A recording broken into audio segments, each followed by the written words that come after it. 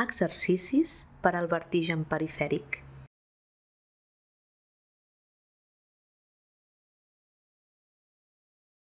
El vertigen és una sensació rotatòria desagradable, per la qual les persones tenen la percepció que l'entorn gira al seu voltant o elles mateixes es mouen.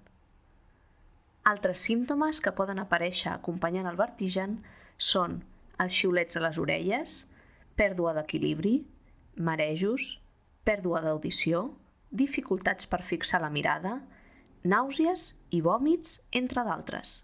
L'equilibri depèn del sistema visual que monitoritza a on es troba el cos, així com la direcció del moviment, del sistema propioceptiu, que proporciona informació sobre el funcionament dels músculs, tendons, articulacions i regula la direcció i amplitud del moviment i del sistema vestibular, que detecta, analitza i informa dels moviments del cap per mantenir estable la mirada i afavorir el manteniment de la postura.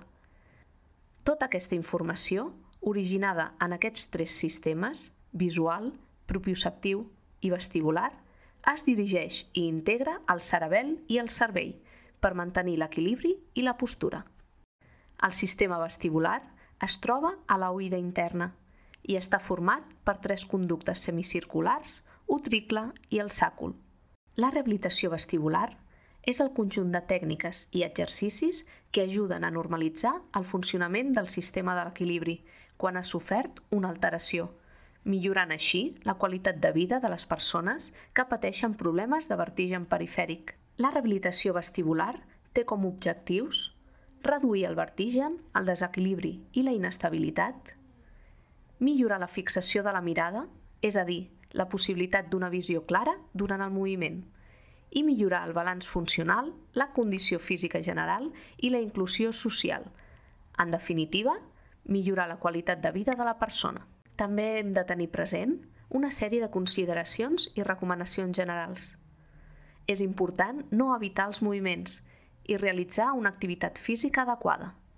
Les crisis vertiginoses, encara que siguin sensacions desagradables, no són greus i no representen risc per la vida. És important mantenir una bona postura, evitar situacions d'estrès i reduir el consum de cafè i nicotina. Recordi, comenci el més aviat possible els exercicis. Descansi entre exercici i exercici. Augmenti la complexitat de forma progressiva. Faci 5 repeticions de cada exercici, mínim 2-3 cops al dia. Consulti el seu metge si té qualsevol dubte sobre la seva patologia. Amb el cap fixe, miri un punt fixe davant seu a l'alçada de la seva vista. Després, miri un punt fixe a la seva dreta. Torni al centre i miri un punt fixe a la seva esquerra torni al centre i repeteixi de nou l'exercici. Amb el cap fixe, miri un punt fixe davant seu, a l'alçada de la seva vista. Després, miri un punt fixe per sobre del seu cap. Torni al centre i miri un punt fixe per sota del seu cap. Repeteixi de nou l'exercici. Fixant la mirada en un punt, mogui el cap lentament cap a la dreta. Torni al centre i després mogui el cap lentament cap a l'esquerra, torni al centre i repeteixi de nou l'exercici.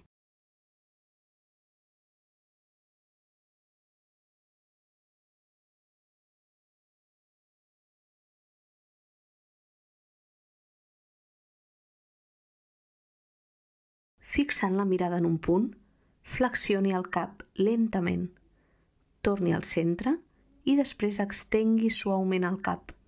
Torni al centre i repeteixi de nou l'exercici.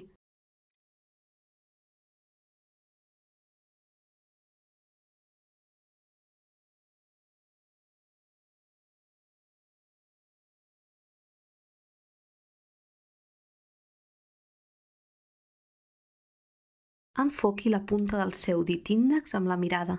Apropi'l al seu nas sense deixar de mirar-lo i allunyi'l lentament.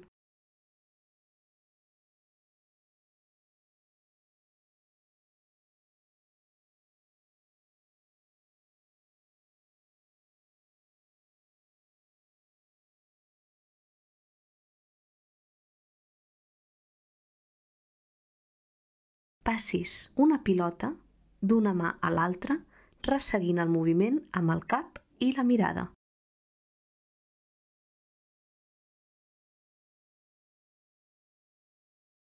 Assegut, flexionis endavant per agafar la pilota de terra i torni a la posició inicial. Repeteixi de nou l'exercici.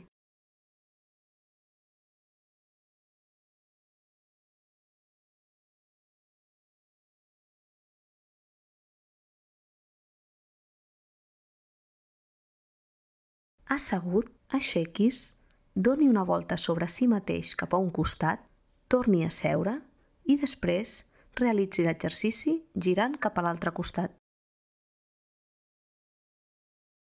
Mantingui l'equilibri de peu amb els peus junts. Faci l'exercici amb els ulls oberts i després amb els ulls tancats. Mantingui l'equilibri de peus amb un peu davant de l'altre lleugerament separats. El taló d'un peu ha d'estar a l'alçada del dit gros de l'altre peu. Mantingui l'equilibri mantenint un peu davant de l'altre, és a dir, el taló del peu del davant amb la punta del peu del darrere. Faci l'exercici amb els ulls oberts i després amb els ulls tancats. De peu, mantingui l'equilibri portant a tocar la mà dreta amb el genoll esquerre i després la mà esquerra amb el genoll dret. Faci l'exercici amb els ulls oberts i després amb els ulls tancats. Camini endavant lentament, mirant punts fixes a la seva dreta i a la seva esquerra. Recordi, comenci el més aviat possible els exercicis. Descansi entre exercici i exercici. Augmenti la complexitat de forma progressiva.